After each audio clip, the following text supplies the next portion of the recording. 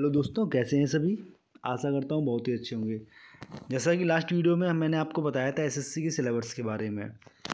और ये भी बताया था कि एसएससी महज एक सपना रह जाएगा यदि हमारी इंग्लिश वीक रहती है। तो मैं आज आप लोग को एसएससी की जो इंग्लिश है, वो बेसिकली किस किस पोर्शन को टच करती है। आपको मैं बता दूँ कि एसएससी की जो इंग्लिश है, वो तीन पार्ट में डिवाइड है।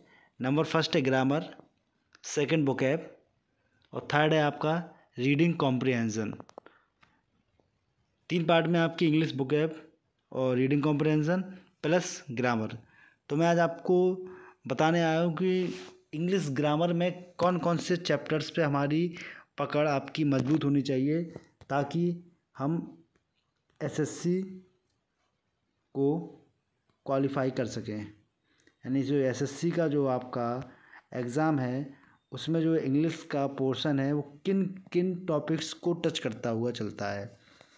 नंबर फ़र्स्ट है आपकी बर्ब वो भी कैसी? पहले बेसिक वाली भी है आपकी बर्ब इसके बाद है आपका टेंस आप जानते ही हैं टेंस पढ़े हुए होंगे. थर्ड है आपका passive voice active and passive voice होता है. फोर्थ है आपका नरेशन डायरेक्ट एंड डायरेक्ट बोला जाता है इसको. फिफ्थ है आपका चैप्टर क्वेश्चन टैग अगला है आपका सब्जेक्ट बर्ब एग्रीमेंट इसमें क्या होता है कि सब्जेक्ट और बर्ब के बीच के जो सामंजस्य होता है, वो इस चैप्टर के बारे में डिस्कस किया जाता है। देन इसके बाद है आपका कंडीशनल सेंटेंसेस ये भी आपने इंटरमीडिएट में काफ़ी अच्छी तरीके से पढ़े होंगे। और फिर इसके बाद आती है बर्ब वो अभी मैंने आपको बर्ब बेसिक बताई थी। इसके बाद आपकी बर्ब एडवांस है। कुल मिला के आपको इंग्लिश में बर्ब चैप्टर को अच्छे से समझ के चलना है, क्योंकि वर्ब चैप्टर ही काफ़ी इम्पोर्टेंट है आपकी ग्रामर के तौर पर, ठीक है ना? इसके बाद आपका noun pronoun adjective conjunction article preposition adverb और इसके बाद अगला चैप्टर होता है कि इसमें आपको क्या बताया जाता है? कुछ शब्द दिए जाते हैं, उसमें कन्फ्यूज़ या मिसयूज्ड किस तरीके से गलतियाँ दी जाती हैं? जैसे फॉर एग्ज़ाम्पल आपका डेस्क्राइब डेस्क्राइब माना क्या होता है? वर्णन करना डेस्क्राइब के साथ आपको एग्ज़ाम में अबाउट लगा के देंगे, जो कि आपका गलत होता है कि डेस्क्राइब के साथ अबाउट का प्रयोग नहीं होता है, लेकिन वो एग्ज़ाम में लगा के देते हैं। इस तरीके से एक आपका पोर्सन ही आ जाता है। इसके बाद बुकैब वाला है। बुकैब में क्या क्या आता है? सिनोनिम्स आते हैं एंटोनिम्स आते हैं वन वर्ड सब्स्टिट्यूशन आते हैं और वन वर्ड सब्स्टिट्यूशन आपके मतलब क्या होते हैं, इसमें आपको एक वाक्य दिया जाता है और इसमें आपको फिर एक शब्द पूछा जाता है।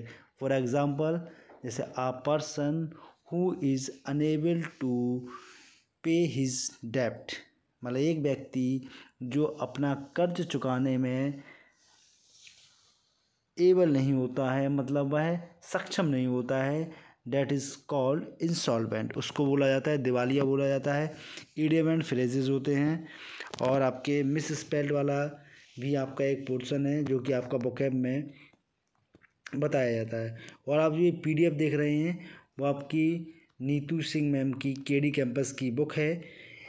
मैं अपने चैनल पाथ टू ज्ञान पर इस बुक का एनालिसिस मतलब इस बुक को आपको रीड कराऊँगा।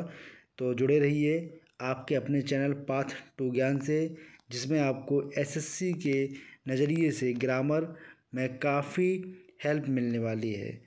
वादा करता हूँ, आप एक दिन, आप लगातार तीन महीने पढ़ने के बाद आप एक दिन अपनी इंग्लिश की ग्रामर को काफ़ी मज़बूत कर चुके होंगे। चैनल को लाइक करें, सब्सक्राइब करें और वीडियो को ज़्यादा से ज़्यादा लोगों तक शेयर करें। Thank you.